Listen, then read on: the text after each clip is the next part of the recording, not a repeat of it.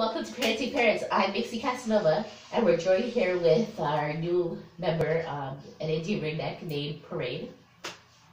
I want to apologize. I am under the weather. I do have a cold, so you may not understand everything that I say. uh, hopefully, you can understand most of it. I was going to delay making the video, but it was requested of me a few months ago, and um, I promised that it would be up this weekend, and so I do like to keep my word. So here I am. So, we're going to be talking about nutrition. Nutrition. Everybody has different views on what to feed a parent. So, I'm doing a little piece, and it's hard to do this piece, and I'm going to tell you why. Because, one, it's hard to do the piece because parents are like people. Some people are anemic, some people are diabetic, some people are lactose intolerant. Some people decide to be vegetarians. It's the same thing in the parent world, meaning um, that you may have a parent who you have to watch their calcium levels, like for my African gray. Or you may have parents who are known to get the fatty liver disease, which is something that my Quaker is prone to, and my, my cockatoo was also prone to that you may get a parent like the lorikeets that have iron storage problems. So all of this means that for each one of these, you would adjust the diet a bit. But I'm just going to do an overview quickly um, on what to feed. Now, this overview that I'm starting isn't going to include those specialized diets, so the eclectuses and the lorikeets and all of that. That'll be something separate. The one that I'm talking about right now is just people, the birds that can eat the seeds, the ones that can eat the pellets, the ones that can eat the um, fruits and veggies, stuff like that. So, you got this parrot, and let's say it's an Indian ringneck, like parade, or let's say, sorry, did I scare you? Um, or let's say it's an African gray, or a Quaker, or um, what else do I have? A black cap conure, or something like that. You get it, and what is it on? Maybe they have it on a seed diet. Should birds only eat seeds? That's a good question. Now, seeds can be very fatty. So I look at seeds kind of like candy. Should a human only eat candy? If your answer is no, then I guess your answer would be no, a bird should only eat seeds.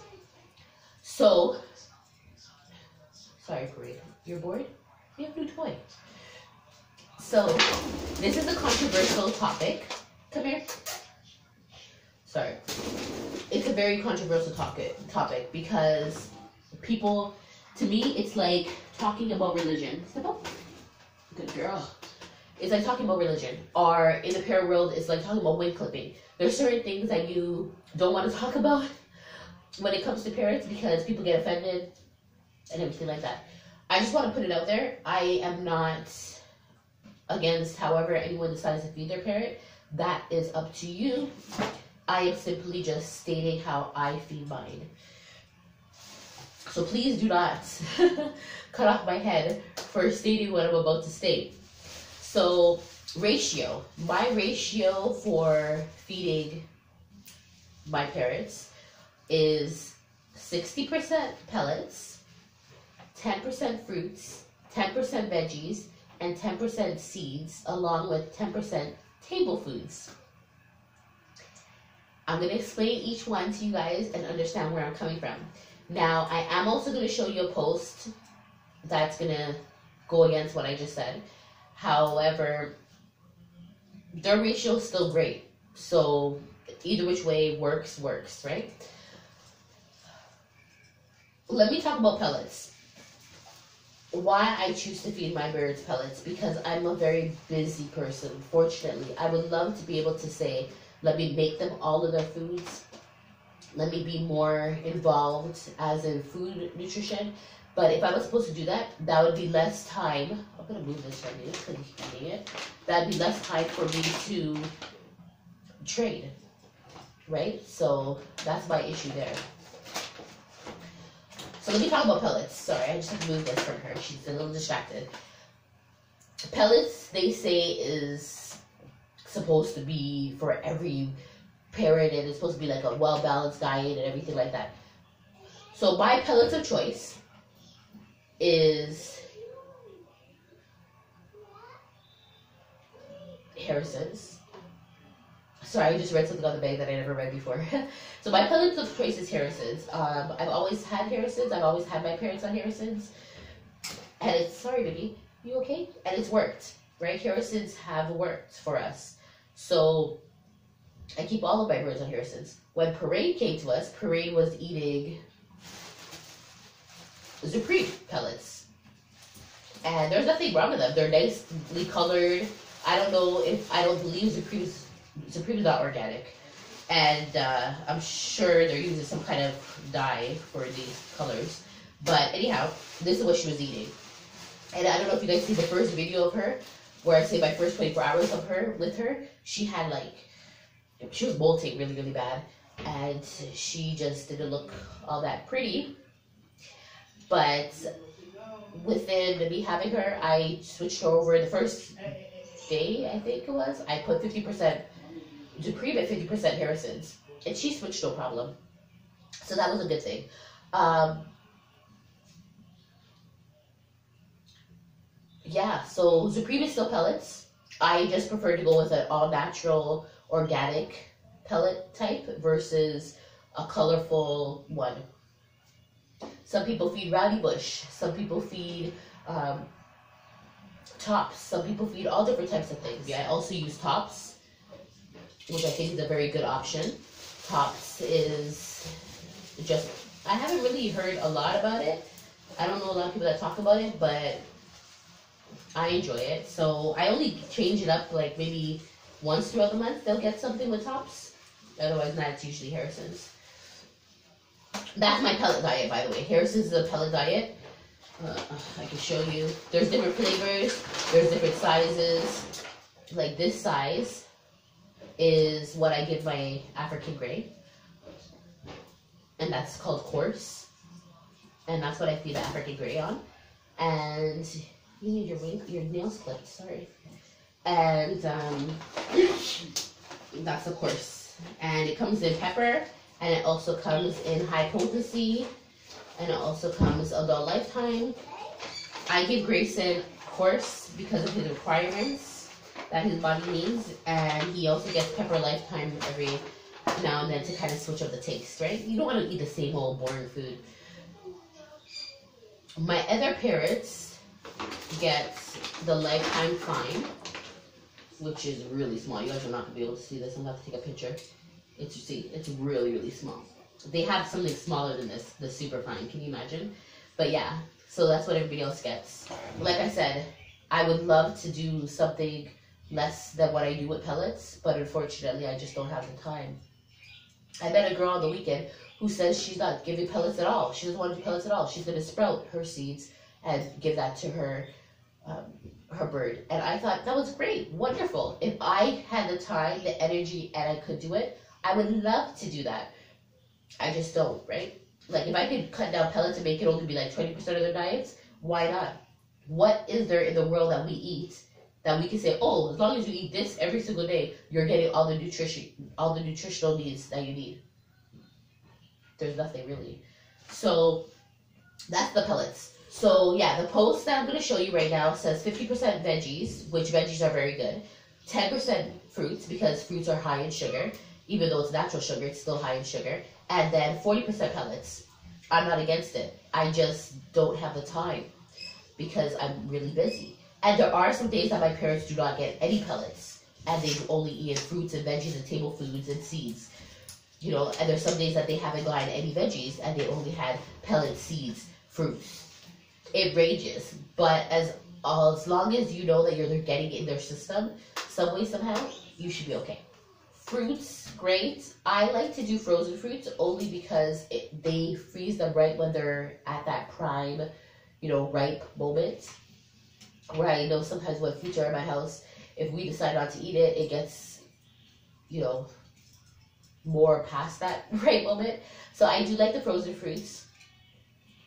However, if I know I have an idea, or let's say I have a smoothie mix, or I have something in my head for for them, I will definitely just go out and buy organic fruits and give it to them like that. Sorry, baby. So fruits, definitely.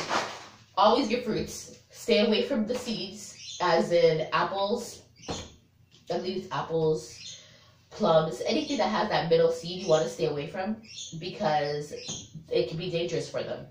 Now, personally, I've read people say that they've given it to them without any issues. I've never tried. My whole entire philosophy is err on the side of caution.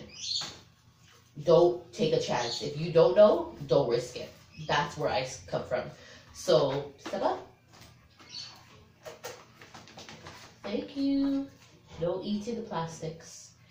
I know you're getting bored now, right? Um, that's where I come from. Don't do it. So, I don't know if you guys are anything like me, but I wouldn't risk it. That's with the fruits. What else are there? Veggies. So veggies, same thing. Um, they need them. They should be organic. Or I also do frozen veggies. As you guys see, I don't know if you guys see my frozen kale. There's my frozen mango at the front. I'm not sure if you guys can still see that because I had to move it. But definitely, fruits and veggies, definitely. You can't go wrong. It's just like us, right? We always, everybody eats fruits and veggies. Veggies, I understand why the poll says 50% veggies because they're not as high in sugar and they're more healthy, so that'll be great. 10% fruits, they, the poll says, because I guess the sugar intake. So you can decide if that's something, if you have the time and you can do more fruits and veggies, definitely, why not, right? I'm not a really good chop mixer, fruit salad mixer type of person, so for me, um, yeah, that's where time to be. And because I have the lorikeets, yeah, I already have that time being put into diets, right? Anyhow, so that's your 10% fruits, your 10% veggies. Make sure they're organic. If they're not organic, just make sure you wash the hell out of them. That's what it comes down to, right? Uh, my 10% seeds. Okay, so I do not put seeds in their cages. They will never get seeds in their cages unless it's in a foraging toy.